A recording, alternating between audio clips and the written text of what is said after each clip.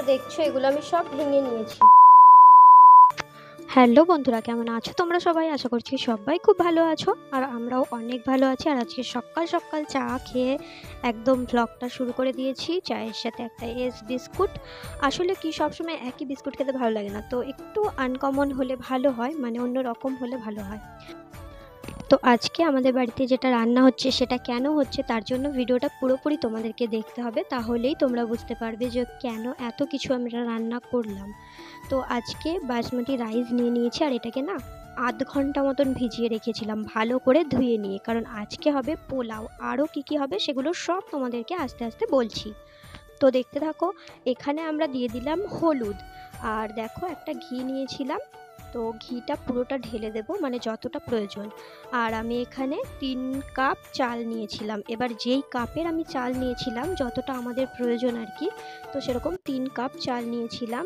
তো ভালো করে চালটাকে প্রথমে ধুয়ে নিয়েছি, চার পাঁচবার ভালো করে ধুয়ে নেওয়ার পরে তারপর চালটার মধ্যে হলুদ মাখালাম। আর এদিকে দেখতেই পাচ্ছ যে আমি এখন ঘি ঢালছি। তো পোলাও যারা জানো বানাতে, তারা অবশ্যই ভিডিওটা দেখলে বুঝতেই পারবে যে আমি কি করতে চলেছি। কিন্তু আমি একটু অন্যরকম করব। আমি জীবনে ফার্স্ট টাইম পোলাও বানালাম। আমার মা এগুলো বানাতে পারে না, তো আমি নিজেই বানাই। তো মা প্রথমে বলে যে, ঠিকঠাক বানাচ্ছিস তো? তো যাই হোক, আমি ইউটিউব দেখে এসবগুলো শিখেছি। তো বেসিক্যালি আমি নতুন রান্না কোনো কিছু ইচ্ছা হলে বানানোর, সেটা আমি ইউটিউব থেকেই বানাই। মোটামুটি খারাপ হয় না, আসলে মাকেও জিজ্ঞেস করে নিই কিছু কিছু জিনিস। তো তারপর দেখো, এটাকে ভালো করে মাখিয়ে নেব। তো এখনও চালটার মধ্যে একটু একটু জল আছে, তো জলটা আমি ভাবছি একটুখানি ফেলে দেবো। তো তারপর মাখালাম। আর এখানে নিয়ে নিয়েছিলাম কতগুলো কাজু আর কতগুলো কিশমিশ তো কাজুগুলোকে না ভালো করে ভেঙে নেব। মানে গোটা কাজু আছে, কাজুগুলোকে ভালো করে ভেঙে নিতে হবে। তারপর এই কাজু আর কিশমিশটাকে একটা বাটিতে ঢেলে নিয়েছি। একটা বাটিতে ঢেলে নেওয়ার পরে এটার মধ্যে আমি যতটা পরিমাণ জল লাগবে, জল দিয়ে ভিজিয়ে রাখব কিছুক্ষণ। কিছুক্ষণ না ভিজলে এটা শুকনো শুকনো থাকবে, ভালো লাগবে না। তারপর গ্যাসে নিয়ে নিলাম একটা সসপ্যান। বা ডেচকি, যে যাই বলো আর কি। এটা ভালো করে গরম হয়ে যাওয়ার পরে এটার মধ্যে আমি ঘিটা ঢেলে দিলাম, যতটা ঘি লাগবে।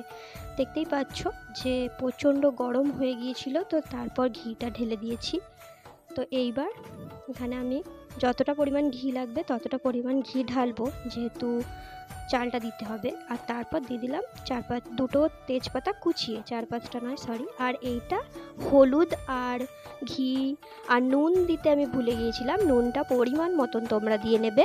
তারপর আরও পনেরো মিনিট চালটাকে আমি ভিজিয়ে রেখেছিলাম। তো এখানে দেখতেই পাচ্ছ সসপ্যানে একদম গরম হয়ে গেছে তেজপাতাটা। আর কালারটা একটু চেঞ্জ হয়ে গেছে। আর এখন দিয়ে দিচ্ছি কাজু আর কিশমিশ। তো কাজু, কিশমিশটা একটু লাল লাল করে ভেজে নেব। তো কিশমিশ আর কাজুটা একটু ভালো করে আমি নাড়িয়ে নিলাম। হাতের সামনে খুন্তি না পাওয়াতে আমি চামচ দিয়েই নাড়া শুরু করে দিয়েছি। তো এখানে মোটামুটি হয়ে গেছে লাল লাল। এইবার আমি ওই চাল যেটুকুনি ছিল মানে যতটা চাল ছিল সেই সবটাই এটার মধ্যে ঢেলে দিলাম। গ্যাসের ফ্লেমটা আমি একদম মিডিয়াম করে দিয়েছি, বেশি জোরে দিইনি। আর এখন আরেকটু নুন দিয়ে দিচ্ছি, কারণ আমার মনে হলো কি নুনটা একটু কম হবে। তো সেই জন্য আরেকটু নুন দিয়ে দিচ্ছি। এটাকে একটু ভালো করে তেলের মধ্যে নাড়াচাড়া করে নিয়ে, তারপর যেহেতু তিন কাপ চাল দিয়েছি সেহেতু আমি ছ কাপ জল দেবো মানে যা চাল দেবো তার থেকে দ্বিগুণ পরিমাণে আমি জল দেবো। তো এ দেখো, এই গ্লাসটাতে আমি চাল নিয়েছিলাম আর এই গ্লাসটারই ছয় কাপ জল আমি ঢেলে দেবো।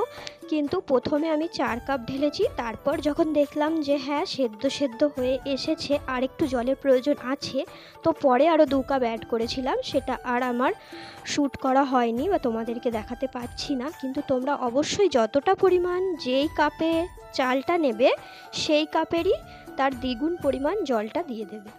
তো এগুলো এত কিছু বানানো হচ্ছে কেন সেটা তোমাদেরকে অবশ্যই জানাচ্ছি। তো চলো আর কি কি বানালাম সেইগুলো দেখে নাও, তারপর তোমাদেরকে জানিয়ে দিচ্ছি।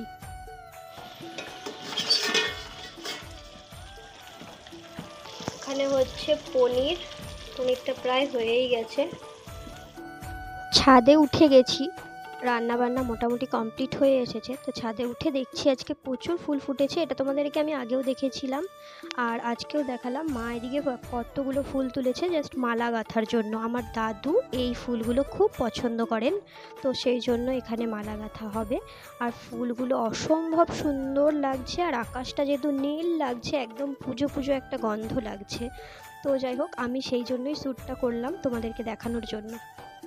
এদিকে দেখো আমাদের পোলাওটা মোটামুটি কমপ্লিট হয়ে গেছে। আমি একটু চিনি দিয়ে দিচ্ছি মানে আমার যতটা পরিমাণ ততটা দিচ্ছি। দেখো, অনেকেই কিন্তু পোলাওতে একটু বেশি চিনি পছন্দ করে, কিন্তু আমাদের চিনিটা অতটা বেশি পছন্দ আমরা করি না। আমরা একটু ঝাল ঝাল খেতেই পছন্দ করি, যেহেতু আমরা বাঙাল। তো যাই হোক, এখানে পোলাওটা আমি করে নিয়েছি। আর এদিকে দেখো মায়ের ফুলের মালা গাঁথাটাও হয়ে গেছে। আর কত সুন্দর মালাগুলো গেঁথেছে। অসম্ভব সুন্দর লাগে এই সাদা ফুলের এই এরকমভাবে মালা গাঁথলে। তো আমার মা এইরকম সুন্দর মালা গাঁথতে পারে। আর যার জন্য মালা গাঁথা হলো সেটা হলো আমার দাদু আর ঠাকুমার আজকে মৃত্যুবার্ষিকী, সেই